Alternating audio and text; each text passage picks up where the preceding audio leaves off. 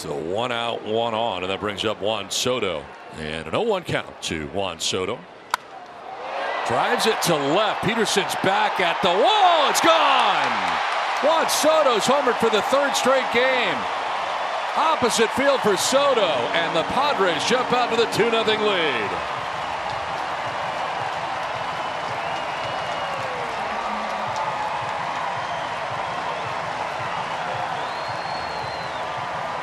Now that's his 14th hit against the Giants this year, and he seems to absolutely light up like a Christmas tree when he plays the Giants. Opposite field home run, and it's elevated.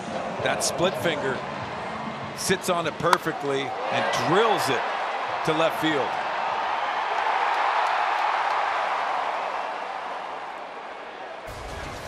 Second time Soto has homered in three consecutive games this season. Previously did it August 1st through the 4th. And has the Padres on top two to nothing here in the bottom of the first inning.